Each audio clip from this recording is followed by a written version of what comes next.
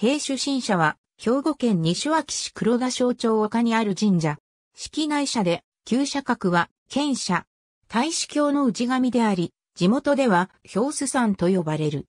兵主神は、漢の酵素が、死有を祀り、勝利を祈ったことに由来するとされ、貝塚刺激によれば鍛冶屋神であるとする見方もある。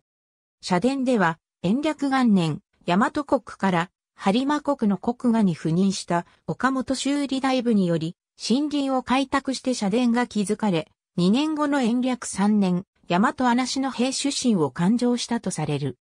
穴神社については、日本の神々にによれば、左座、八千穂の命ま大枠大国指名神体、候補兵主伊塚、神これやと、大国指名分親類者章に記されており、このことから中世には、兵主神を、八千穂の命と関連づけられていたと推測されている。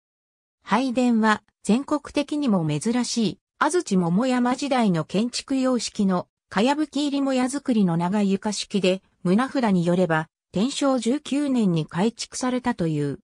戦国時代には、橋場秀吉の三木城攻めの際に、進化の黒田義高が、戦勝祈願のため東明殿を堅牢し、拝殿は、その際の奉納金によって改築されたと伝えられ、1977年3月には、兵庫県の重要文化財に指定されている。毎年10月には、霊祭の秋祭りが行われる。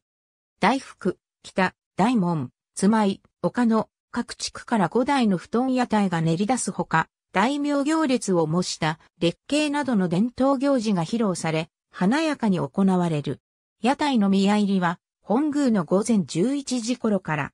屋台が境内に据えられた後に子供奉納相撲が行われ、餅巻きが終わる14時頃から、屋台の宮出しが始まる。本来は10月14、15日を例祭日とするが、現在は屋台練り出し、搭載例の諸行事を10月第2度日曜日に言っている。また、1983年には、環状線200年の大祭が取り行われた。ありがとうございます。